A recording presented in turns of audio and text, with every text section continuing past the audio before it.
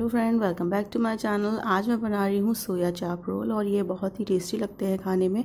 मैंने ये फ्रोज़न सोया चाप लिए हैं, ये आसानी से मिल जाएँगे मार्केट में और इसको बनाना बहुत ही इजी है और ये बहुत ही टेस्टी लगते हैं।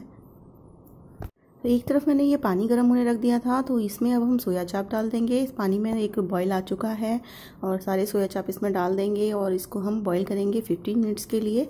तो ये फूल जाएँगे और इसमें थोड़ा सा मैं नमक डालूँगी। तो जब तक सोया चाप बॉयल हो रहे हैं, तब तक मैं सॉस बना लेती हूँ। तो मैं यहाँ पे टू टेबल स्पून ले रही हूँ मेयोनीस और ये मेरे पास वेज मेयो है और ये मैं ले रही हूँ चिली सॉस तो ये मैंने वन टेबल स्पून लिया है और मैंने यहाँ पे मिक्स हर्ब्स लिए हैं तो चिली फ्लेक्स और थोड़ा सा मैं इसमें सॉल्ट डालूँगी, क्योंकि मेयो में भी सॉल्ट होता है, इसमें कम डालेंगे और मिक्स करेंगे। तो सोया चाप बॉयल हो चुके हैं, मैंने निकाल लिए हैं और यहाँ पे मैं बनाऊँगी सोया चाप को मैरिनेट करने के लिए। तो मैं यहाँ पे ले रही हूँ फोर टेबल स्पून दही और इसमें मैंने थोड़ा सा नमक डाला है और हल्दी लाल मिर्च पाउडर मैंने ये कश्मीरी लाल मिर्च पाउडर लिया इसका कलर बहुत अच्छा आता है। थोड़ा सा धनिया डाला है और मैं इसमें आधा नींबू डालूँगी और इसको मैं अच्छे से मिक्स करूँगी और इसमें मैं डालूँगी थोड़ा सा कलर।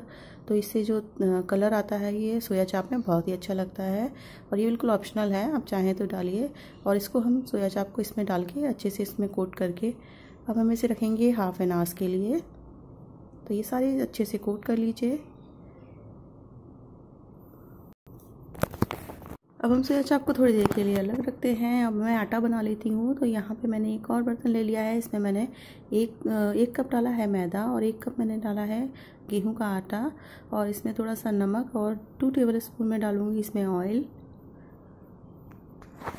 तो मैंने इसमें टू टेबल स्पून ऑयल मिला लिया है और अच्छे से मिक्स कर लिया है। अब मैं इसमें थोड़ा थोड़ा पानी डाल करके इसका एक डो बना लेंगे।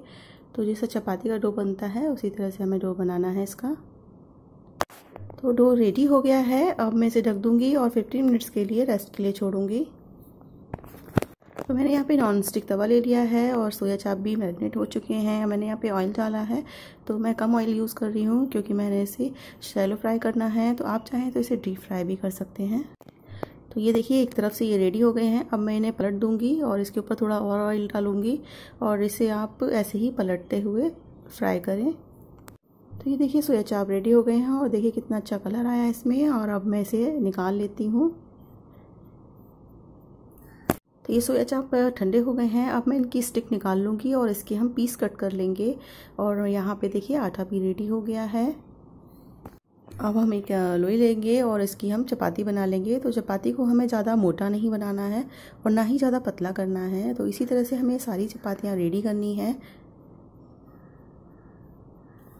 तो मैंने यहाँ पे तवा गरम होने रखा था और अब मैं इस चपाती को इसके ऊपर डालूँगी और इसमें हल्का सा ऑयल लगा करके मैं दोनों तरफ़ से इसे सेक सेक लूँगी। आप चाहें तो बिना ऑयल के भी इसको बना सकते हैं। तो ये मैंने थोड़ा सा ही ऑयल यूज़ किया है और इसको मैं दोनों तरफ़ से अच्छे से इसको सेक लूँगी। ये देखिए रेडी हो गया है।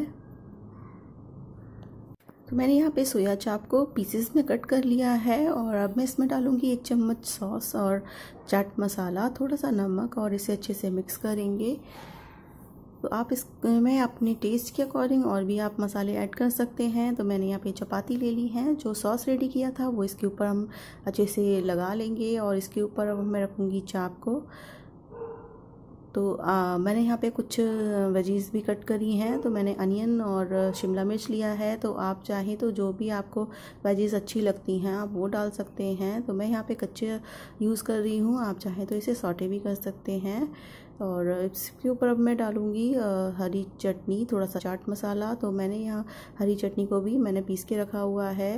तो अच्छा तीखा सा अच्छा लगता है चाप सोया चाप रोल और इसको आप इसी तरह से रेडी कीजिए। और आप अपने अकॉर्डिंग भी इसको आप वेजीज डाल के और जो भी आप को पसंद हो उस तरह से आप ये चाप रेडी कर सकते हैं। तो ये देखिए, सोया चाप रोल रेडी हो गया है। ये देखिए, सोया चाप रोल रेडी हो गया है। ये बहुत ही टेस्टी और हेल्दी होता है तो आप मुझे कमेंट करके बताइए कि आपको कैसा लगा। Thank you.